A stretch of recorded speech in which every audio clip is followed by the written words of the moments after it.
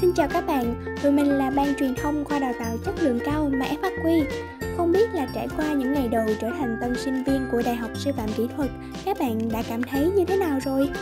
Tụi mình tin rằng các bạn cũng đã dần thích nghi với môi trường mới rồi đúng không? Nhưng mà chắc hẳn sẽ còn nhiều thứ khá là mới nữa, cho nên sẽ có một chút lạ lẫm đó.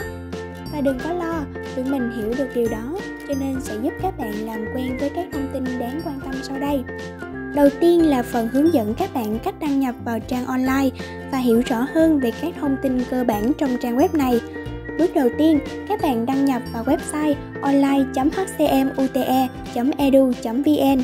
Giao diện của trang chủ sẽ có các phần thông tin chung, giới thiệu hoặc là thông báo mới để các bạn cập nhật. Để truy cập vào trang cá nhân của mình, các bạn nhìn lên góc bên phải, chọn mục đăng nhập. Tại đây, tên đăng nhập là mã số sinh viên và mật mã là do nhà trường cấp. Nhưng mà các bạn nhớ là chọn đúng mục sinh viên nha. Đăng nhập thành công thì trang cá nhân của bạn sẽ hiện lên. Tại đây, các bạn sẽ nhận thông báo của giảng viên và của nhà trường. Tiếp theo, các bạn nhìn sang phía bên trái sẽ là các cột thông tin mà các bạn phải tra cứu. Lưu ý, đối với các bạn lần đầu tiên đăng nhập vào trang online thì chọn một thông tin cá nhân. Các bạn cập nhật thông tin cá nhân của mình và đặc biệt dưới góc bên trái sẽ có một hình ổ khóa để thay đổi mật khẩu.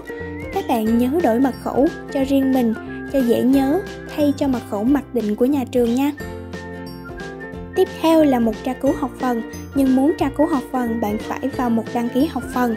Sau khi nhấn vào, bạn phải đăng nhập bằng email sinh viên.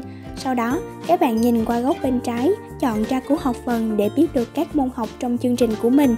Có thể chương trình sẽ chưa được cập nhật đầy đủ, nên là chương trình đào tạo chi tiết sẽ được trưởng ngành gửi cho các bạn sau nhé.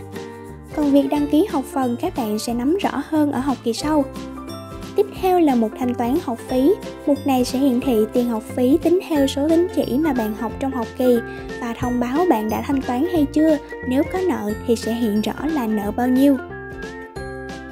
Với mục thời khóa biểu, như tên gọi của nó thì các bạn sẽ xem được lịch học của mình mà xem như thế nào á thì đứng hình một chút là sẽ hiểu được nha nói vui thôi cụ thể hơn là mình sẽ xem được các môn học các giờ học và các phòng học của các tuần trong học kỳ Tiếp theo là phần lịch thi.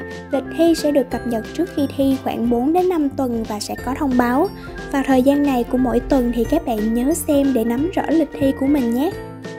Tiếp đến là phần để các bạn xem điểm của mình sau mỗi học kỳ, bao gồm điểm giữa kỳ và điểm cuối kỳ qua môn hay rớt môn thì các bạn có thể xem tại đây nha. Chúc các bạn học kỳ nào cũng full tích xanh nhé. Phần ý kiến và thảo luận vào khoảng thời gian nhất định của mỗi học kỳ, nhà trường sẽ có thông báo và các bạn vào đây để thực hiện khảo sát đánh giá công tác giảng dạy.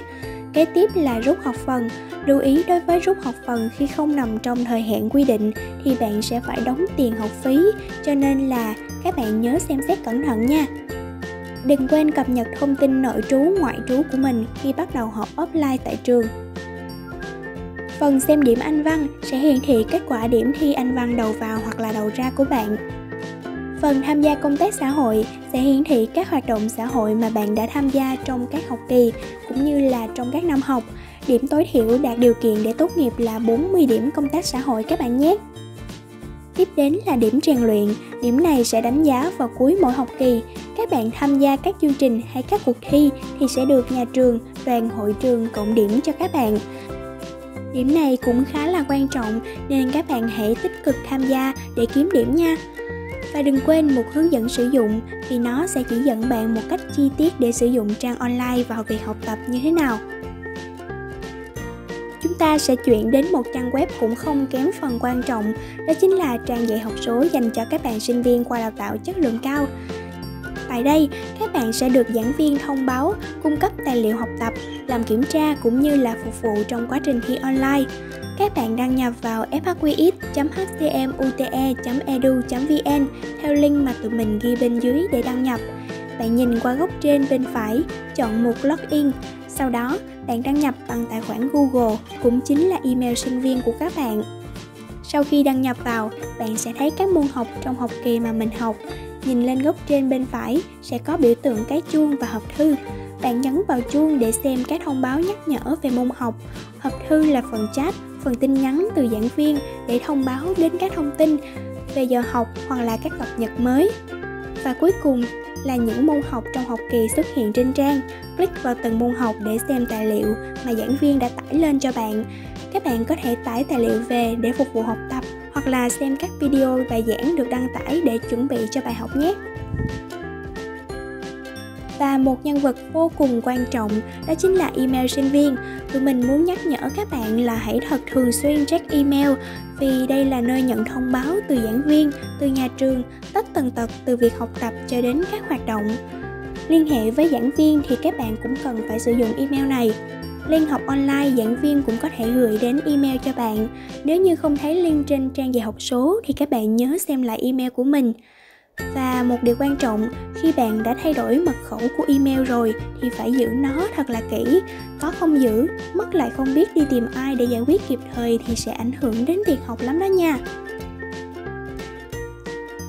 Trên đây là những hướng dẫn cơ bản dành cho các bạn tân sinh viên, hy vọng sẽ giúp các bạn nhanh chóng làm quen với cách thức học tập tại ngôi trường đại học này nhé. Xin chào và hẹn gặp lại.